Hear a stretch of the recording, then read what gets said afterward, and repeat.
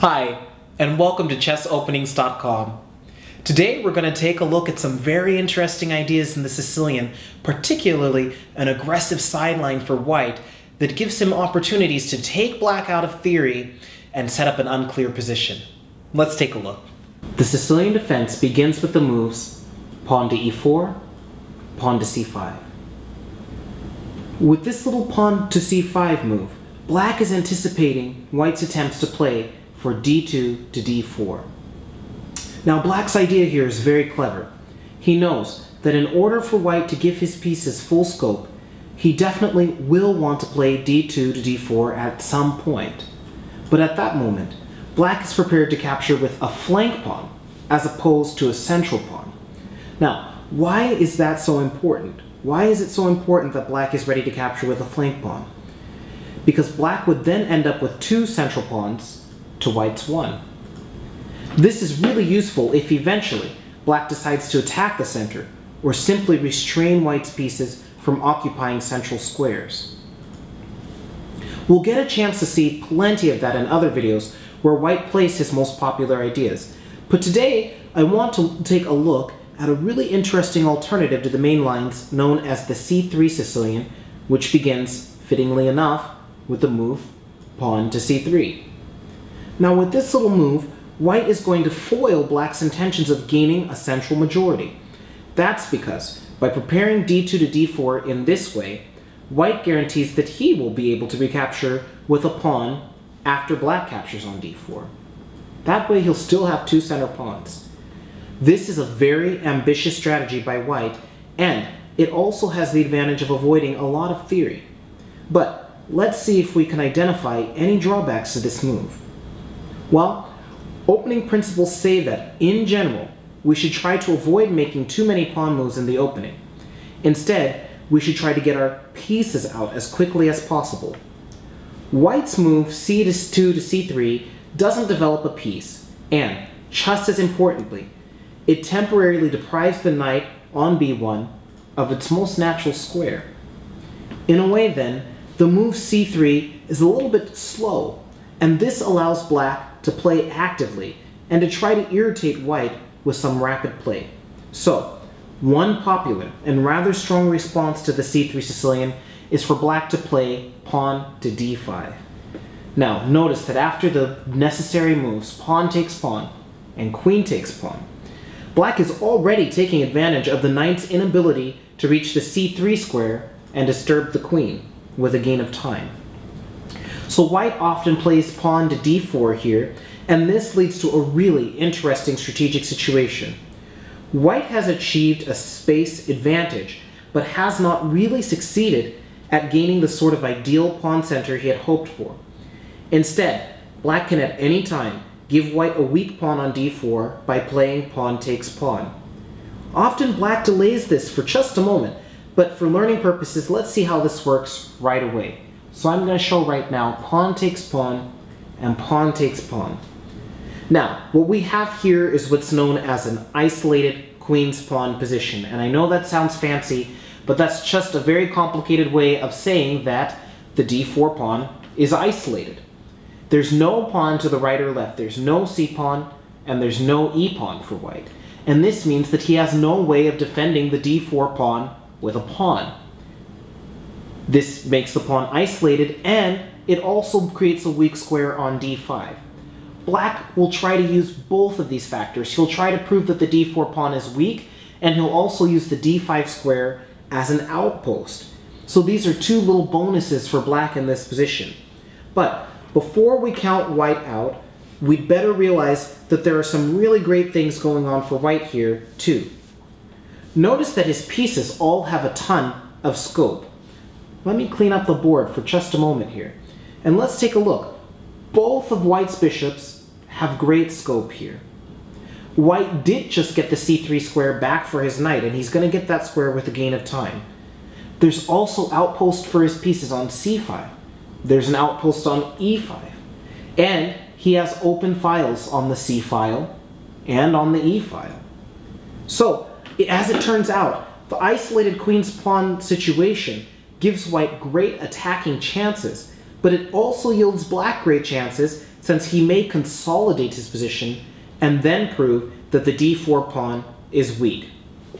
So now backing up a little before pawn takes pawn, black normally delays capturing for a while on d4 because there's no hurry and there's no reason to give white the, the square on c3 for his knight until it's necessary to do so.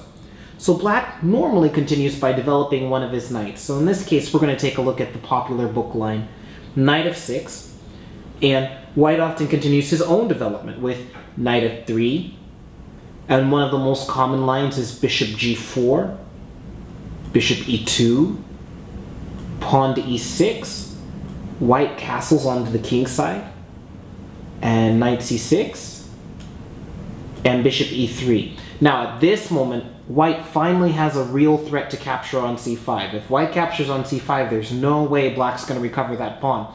So it's time for black to finally give white the weakness with pawn takes pawn, pawn takes pawn, bishop e7, white gets this square for his knight with tempo, and now queen to d6. And if you take a look at this position, both sides have a lot of reasons to be happy. White has completed his development very naturally, and he's even gained a little time at the expense of black's queen. He has some open files, and he has wide chances for active play here. However, the beautiful thing in chess is that unless we've made a serious mistake, we almost always have some serious trumps of our own if only we can manage to neutralize our opponent's trumps. And so it is here. If I'm playing black, I know that if I play very carefully, white may fail to get much out of his slight advantage in space and development. Once that happens, I'll not only have an equal game, but I'll be much better. That's because the d4 pawn will prove to be a weakness as the game wears on. So the move pawn to d5 leads to interesting play for both sides. Both sides find comfortable squares for their pieces, and the game becomes very interesting and complex, leading to an isolated queen's pawn situation. It's not clear who's better in this situation, and white's not exactly pushing black around. However, he does avoid a lot of theory, and he gets a very complex game for both sides. The other popular idea for black that I'd like to show you is quite a bit different, and it begins with the move knight to f6. With this move, black takes a different tack. He's still dead set on exploiting the unusual features of white's move c2 to c3.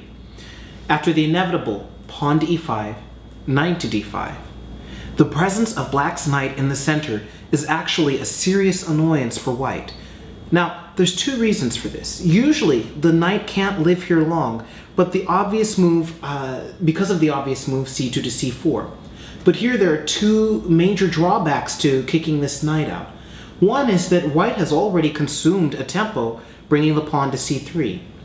Another is that there's a pawn on c5 here, which is making it pretty unattractive. Let's say that white does play c4 it's kind of unattractive here uh, that it's going to be difficult for white to play d4, so his pawns are kind of split up, and this c5 pawn does a beautiful job of keeping white structure uh, under check here. So for these reasons, white doesn't have such an easy time ejecting the knight on d5, and this is one way that he's taking advantage of this c2 to c3 move. Um, now, white has an advanced pawn on e5, and this gives him a definite space advantage. But if you've been watching some of these videos, you'll know by now that while it's critical to advance our pawns to cramp the opponent, win territory, and eventually threaten to make queens, pawn advances always come at a cost. One such cost is that the pawns themselves may turn out to be vulnerable to direct attack, and sometimes that proves to be the case here too. Black's going to try to break this pawn down with d7 to d6. And he's going to try to exchange this pawn off and leave white vulnerable and have wasted time as well.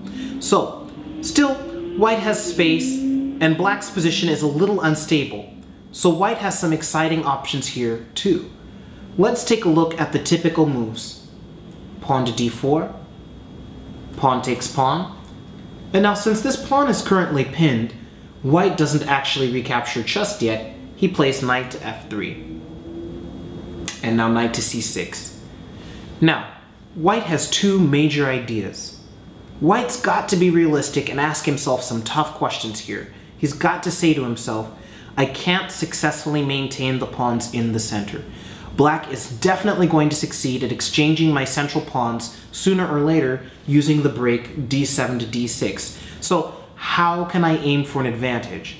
Well, the answer, it turns out, is that white can aim to develop his pieces quickly and aggressively, taking advantage of the d5 knight's unsupported placement in the meantime. Over the years, white players in this position have come up with two major ways of going about this. One interesting way is to play the position as a gambit, sacrificing a pawn with the moves bishop c4, knight b6, bishop b3. So in this variation, in this book line, for a long time, white is going to allow black the option of taking on c3, but he reasons that this will give him even more scope for his pieces and a huge lead in development, plus he'll still have this cramping pawn on e5. In fact, Black rarely captures just yet, but instead he continues his development with the outstanding move pawn to d5. And in order for white to get an advantage, he definitely has to remove this pawn because black's just getting too much share of the center if he's allowed to keep that pawn. So white captures using the en passant rule, pawn takes pawn, queen takes pawn, and now white castles. Again, giving black an option to capture on c3, but Again, black typically ignores this and continues his development with the outstanding move bishop to e6. Black's getting closer and closer to developing his position meaningfully, but has still done nothing about the development of his kingside pieces, and he's not exactly castled either. So white normally still gets interesting play here, using such moves as knight a3, which aims to bring this knight to one of these key squares, and now black finally does in fact capture on c3. And white avoids a trade of queens with the move queen to e2. And now black often plays bishop takes bishop. And this crazy aggressive move knight b5, which not only attacks the queen, but which is also trying to bring that knight into the c7 square. So black has to back the queen way up to b8 here and white recaptures the bishop. And this is a very interesting position. At the moment, black is ahead not one, but two pawns. But his pieces, they're making a very unfavorable impression here. The position is highly unclear, and this is just the sort of dynamic, interesting position white was hoping for when he played the c3 Sicilian. However, black, if he's prepared, shouldn't have to be too worried about this position. As aspiring players, we can help ourselves a lot by having positions like these in our repertoire and working at them persistently, sometimes with both sides, to improve our game. So I'm going to leave that position there, which is really interesting, and we're going to go back to this moment where I said that white had two options. So right after this move knight to c6, white has other ways to reach an imbalanced game without gambiting a pawn. They begin with the book move pawn takes pawn, and now pawn to d6. Now, white threatens to reduce white's spatial advantage significantly. So to avoid giving black a dream position, white intends to defend his center using the clever pin bishop to b5. In this way, he reduces the attackers on e5 since the knight can't participate in the control of e5. However, if white were to play this move right away, he would get stung by an ugly move here. Can you see the tactic? It's queen to a5 check, which attacks both the king and the bishop. And this is a really unpleasant situation for white here. He would probably lose material with the move knight to c3, and now knight takes c3. And this is just a bad situation for poor white. He can probably minimize his losses with bishop takes knight, check, takes, and takes and takes. But he's just dropping material here, and this position has no track record whatsoever. So white can't just go ahead and play this move bishop b5 yet. However, he has another little intermediate move which he can play first, which is very clever. First, he attacks on c4. And only after black's standard reaction knight b6 does white now pin the knight on c6? And so, after pawn takes pawn, white now recaptures the knight. And we've seen this isolated queen's pawn position before. White has scope for his pieces, and he's got a little annoying threat on c6 at the moment. So after the move bishop to d7, we have another unbalanced position. Clearly, black is threatening knight takes e5 right now, which would win a piece. So white has to make a capture here. One example of how you can go about this is, for example, knight takes bishop, queen takes knight, knight c3, e6, and castles. And the position is unclear. White has the standard pawn weakness on d4, but he does maintain a space advantage and he does have the bishop pair. So plenty of interesting chess going on here. Those are the positions I wanted to show today. We've accomplished a number of things. We've taken a look at a particularly aggressive system for white against the Sicilian, in which white aims to avoid allowing black one of his pet systems and one of his pet ideas of achieving a central pawn majority.